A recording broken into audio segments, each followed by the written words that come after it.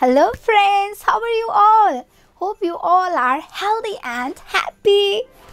Last time we studied about different sets, and today also we will identify different types of sets. Are you ready? Let's start. Now tell me what you see here.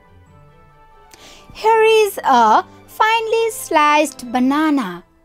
When we cut a banana like this, it is called a sliced banana. You can also see a red apple.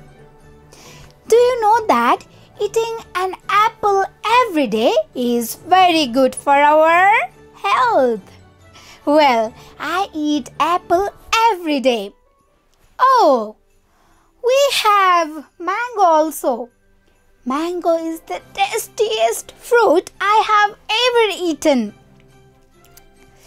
And here is a medium sized orange. What are these things? Vegetables?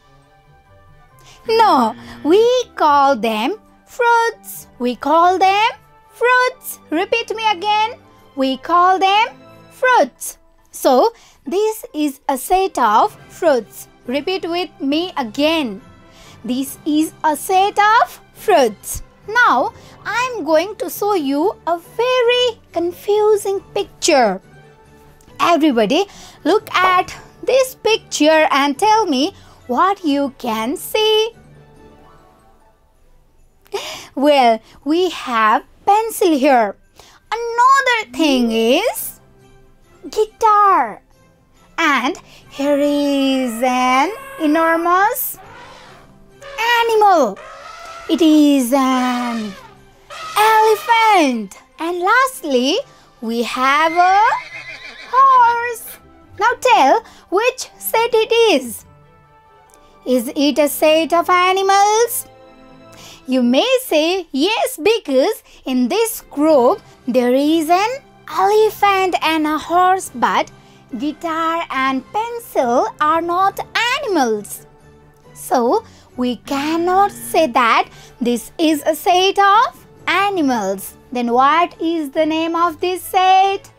Can you answer? Well, my dear friends, this is not a set. Why? Because we have different things of different types.